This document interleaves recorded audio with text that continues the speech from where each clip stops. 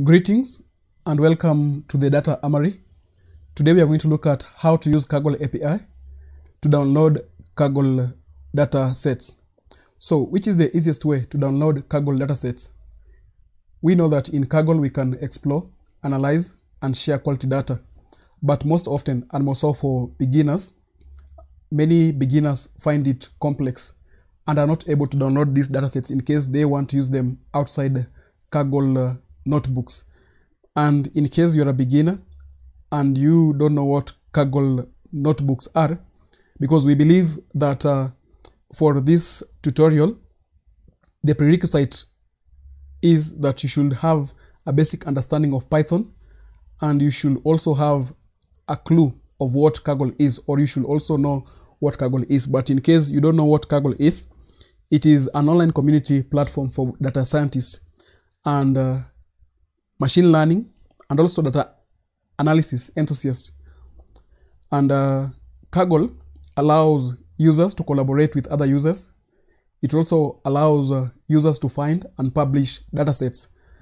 And uh, they are also allowed to use GPU integrated notebooks and compare with other data scientists to solve data science challenges. So that is basically what Kaggle is uh, as an online platform for data scientists, machine learning, and data analysis enthusiasts. But now, believing that you have a basic understanding of what Kaggle is, the steps that we'll go through for us to be able to download Kaggle datasets is that we will install the Open Datasets library. We will uh, we will use we will use the Open Datasets dot download helper function. We will get Kaggle credentials. That is by downloading the Kaggle JSON file and then enter the username and Kaggle API. Then we will query the directory where the dataset has been downloaded using the OS module, using the OS module. And remember, for us to be able to, to read this notebook, we need to have installed uh, pandas. So we need to install and import pandas library. So in our notebook, we have the pandas library imported. So let us go to the steps. So step number one is that you install the open datasets library. So what is the open datasets library? What is the open datasets library? If you go to GitHub, you if you go to github.com slash jovianml slash open datasets, you will get the open datasets library. And uh, the open datasets library is a Python library for downloading data that downloading datasets from online sources like Kaggle, Google Drive using the simple Python command. So the Open Datasets library is a Python library for downloading datasets from uh, sources like Kaggle, Google Drive using a simple Python command. And the contributors, the contributors are uh, AkashNS and BRajD. They have a very good uh, online data science, machine learning, and data analysis learning platform. You can go and check them out if you need to learn data science, machine learning, and uh, data analysis. So Open Datasets, as we have said, is a Python library. And now when we want to use the Open Datasets, we first need to install the Open Datasets library. We need to install the Open Datasets library. So to install it, we will read these comments, uh, but uh, I've just commented it out. But uh, if you don't need to comment it out, if you need to install it, I've, I had commented it out because I already have it installed. So you'll use the pip install, open datasets, upgrade, and quiet. Now you use the upgrade to get the latest, latest uh, version of it and you use quiet so that you don't get the outputs, the installation uh, outputs. So pip install, open datasets, then you run that uh, cell if you're using Jupyter notebooks, then it will install the open datasets library. But because I already have it, that's why I had commented out this line. So after running it, you will need to import the open datasets as OD. OD is the alias for open datasets. So you need to import it. And because I already have it, I'll just go to the import, uh, to the importation. So, and uh, now, for us to be able to download that dataset from Kaggle after having installed the Open Datasets library and imported, imported it into Jupyter Notebooks, we'll now use it to download the Kaggle dataset. We'll now use it to download the Kaggle dataset or you will now use uh, the Open Datasets library to download datasets from, from Kaggle. Now remember this, remember, remember that there are two ways that you can use to download Kaggle datasets. And in this tutorial, we are going to cover only one way. And uh, the way that you're going to cover or the method that you're going to cover is how to use Kaggle API to download datasets. And the other way is that you can download the Kaggle datasets manually. You can manually download from Kaggle website and use the dataset for your data analysis, machine learning, and data science projects. But the way that you're going to consider today is uh, downloading Kaggle datasets in Jupyter Notebook using the Kaggle API. So already we have mentioned about installing the required packages and we have installed pandas and open datasets. We have mentioned uh, that. So after installing them, after installing them, as we have uh, mentioned here, after installing and importing the open datasets, we need to have a dataset that we need to download. We need to have a dataset that we need to download. And here we are going to download the NYPD shooting incidents data, the NYPD shooting incidents data. Let us go to uh, Kaggle datasets. At least you have a look of if you're a beginner. Now in Kaggle, there are datasets that you can download. These for beginners because we believe you should have a clue of what uh, Kaggle is. So here we have uh, various datasets. There, there are many datasets that we can we can download from from here. There are very many datasets that we can download from here, like these uh, uh, hospitals in the United States. Let us click on that dataset. So we'll, we'll need the link to this dataset. We'll need a link to this uh, data set and uh, the link is found here. Here is the here is the link, but we are not going to use this dataset. The dataset that we are using, we have said that we are going to use the we are going to use the NYPD shooting incidents data. So we need to have the download URL. So you need to have a variable name as the download URL and the value here is this download URL. So you'll get the URL of that dataset and have it as the value there. After that, we'll remember we imported open datasets as OD. So we'll use the od.download helper function.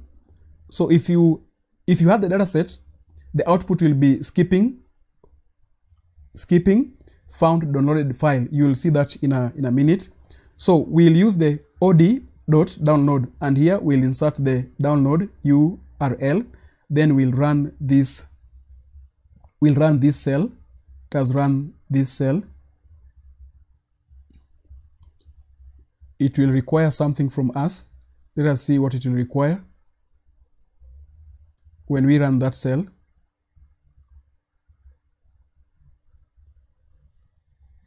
It says, please provide your Kaggle credentials to download this dataset.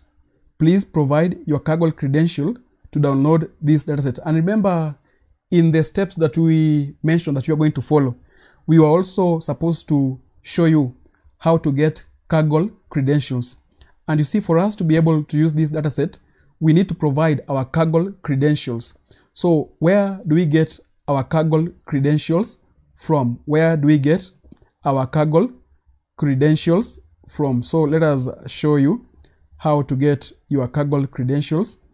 You'll still need to go to Kaggle But first, let us go to uh, Kaggle's uh, GitHub page. So go to Kaggle's GitHub page. That is uh, github.com slash Kaggle slash Kaggle API.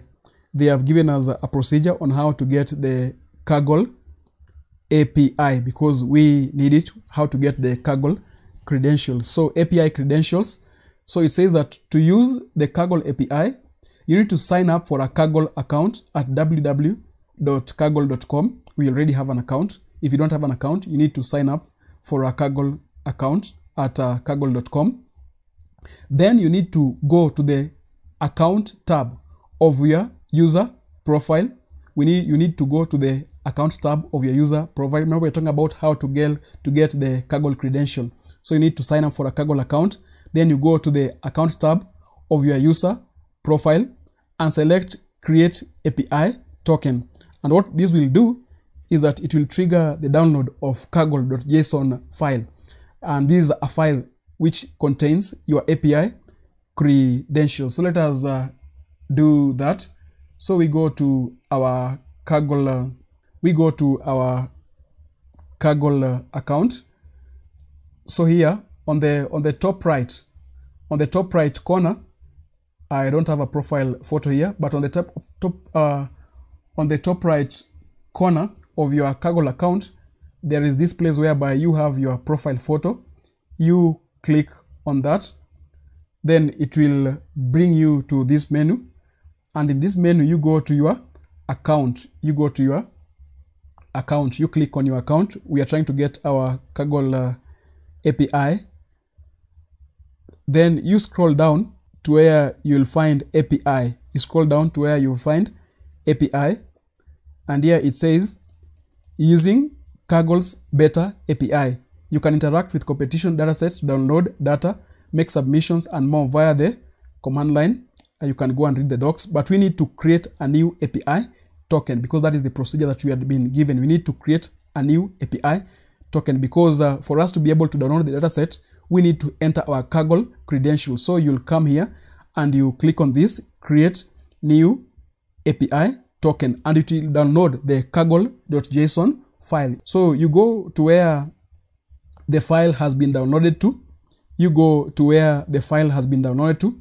If your default uh, download location is downloads folder, you go there and you open the kaggle.json file using uh, VS Code. If you're using VS Code or using the Notepad, you open using Notepad, and in that file you'll find uh, your username, and you will also find your key. You'll find your username. Mine has already been downloaded, so I'll find my username and I'll find the API key. So we go back to our editor. We are using the VS Code. What does it require? Please provide your Kaggle credentials to download this dataset. So at the top here, you'll you'll see a place written press enter to confirm or escape to cancel. So it is in this space whereby you enter your username. I've entered the username, then I press enter to confirm. Now, what does it need? Your Kaggle username, your Kaggle key. We have already entered the username. Now we enter the Kaggle key. So you go to your kaggle.json file that you had downloaded to your downloads folder, if that was a default download location, and you copy the API. And remember, you need to, to hide it for security purposes. So I've copied it. So let me enter to confirm. So it will download the file. It is still running. We have provided the Kaggle credentials now. So it is downloading the file. It is downloading the file. So let it download the file. You can see the download process. It has been downloaded. So it says your Kaggle username, your Kaggle key, downloading NYPD shooting incidents data, zip to NYPD shooting incidents data 206 2021. So the download uh, is 100% complete. Now we need to we need to query, we need to access these uh, these these data set. We need to access the, these data sets. And now our next step, as we had mentioned, is to import the OS module. Our next step is to import the OS module. Remember the, the module comes as a Python standard utility module. The module comes as a Python standard utility module. So unlike Open Datasets whereby we installed this one because it comes as a standard uh, utility as a python standard utility module we'll not need to install it we'll just need to import it but if you don't have it you can also uh, pip install uh, the os uh, module so the importance of the os module is that it helps with querying the directory where the dataset has been downloaded to. Because after we had entered our Kaggle credentials, the dataset was downloaded, was downloaded, and we need to query where this dataset has been downloaded to. And to help us in that, we need that's why we need the import, uh, we need the OS module, and we have said that it helps us with querying the directory where the dataset has been downloaded to. And that is done by interacting with the underlying operating system. So we need this module to interact with the underlying operating system. And with the OS module, what can we do? With the OS module, what can we do? This is just a, a brief overview of the OS module, but that was not our tutorial. We are talking about how to download Kaggle datasets, but because the OS module is important, that's why we are giving you a brief overview of this OS module. So with the module, you can create and remove a folder or a directory. You can fetch the contents of a directory, and that's what we are going to do. We are going to fetch the contents of the directory where our dataset has been downloaded to. You can change and identify the current directory among other operations. You, you can go to uh, Python's website and uh, find out, or you can go online and find out the OS module and uh, read about it. But today, we are going to use it to fetch the contents of the directory where our notebook or, or where our dataset has been downloaded to where our, our dataset has been downloaded to. So you need to import OS. You need to import OS. So here we have a variable of the directory where our dataset has been downloaded. So that is data directory where our data is data directory. And remember, after we had entered our Kaggle credentials, it told us that it has been downloaded to this directory nypd. So we need to fetch the contents of that directory, and that's why we use the OS module. So uh, our data directory, this is the data directory. So we need to list directory. Remember, you you know the command line that when you want to see the, the contents of a directory, you you list uh, you list dir or you list directory. So we'll after download importing this module, so we we have it here as we'll write this line os dot list dir. Then we enter the name of the data directory here. Then we we run this cell. We enter that. So it has given us this is the output NYPD shooting incident data from 206 to 2021.csv. So it has listed what is found inside this directory. And inside this directory is a CSV file, which is NYPD shooting incidents data from 206 to 2021. So already we have uh, fetched the contents of this directory and we have here when we list the contents of this directory just like how you use the, the command line just like how you use the command line. So we have this csv file. So we need to access this csv file. We need to open this csv file. So the data file name the data file name. So if you are using it depends also with the operating system that you are using. If it depends with the operating system that you are using.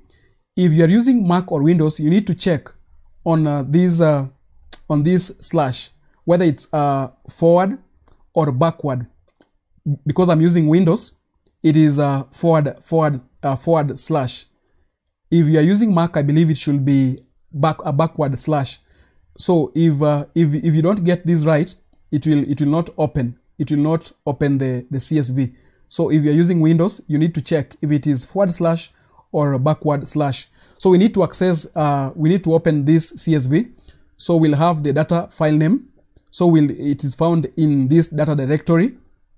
So we we to access it we have the data directory and we have the csv file. Remember we are using this operator this uh, plus operator now to open so we'll we'll run we'll run this this is very important. Confirm if if your operating system allows the forward slash or the backward slash. Now we have uh, we have the data file name. We have run that cell. Now let us access it. And to access it, we'll use the pandas library. And that's why at the beginning we say that you need to have the pandas library installed. You need to have the pandas library. So we'll open it as a CSV. You can open it as an Excel file if, it, if you have downloaded an Excel file, but here we have downloaded it as a CSV. That's why we need to open the dataset as a CSV. So we open the dataset.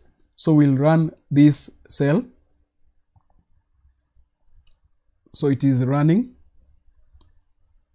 We don't have any error message, which means that we are doing fine. So let us see the data frame. Let us see the data frame. To see the data frame, let us print it out. Let us print it out. And there we have it. And this is the, the data frame. Let me zoom out. Let me zoom out so that you can see it. This is the data frame. This is the New York shooting incidences data frame. So that is how we download a data set from Kaggle using the Kaggle API token. Another way we have said that you can access, you can download uh, Kaggle uh, datasets is using the manual download method, but that is for another day. And that is very simple. Today we are not doing the manual download.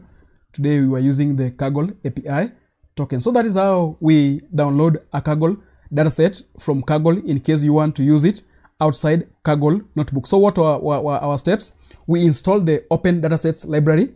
We have used the open datasets.download helper function. We have got our credentials, our Kaggle credentials from Kaggle, which allowed us to download the kaggle.json file. Then we have entered our username as required by the editor. And we have also entered our Kaggle API, which is stored in the kaggle.json file. Then we have queried the directory where the dataset has been downloaded using the OS module. Remember, the module comes as a Python standard utility module. So that has been our tutorial today. Don't forget to comment how do you download your Kaggle data files when you don't want to use them uh, inside the Kaggle uh, notebooks. How do you download them? Remember to comment down down there. Do we have any other way other than the Kaggle API and the manual download? Leave a comment down in the comment section below. Also, don't forget to like, share, and subscribe. You have a good day.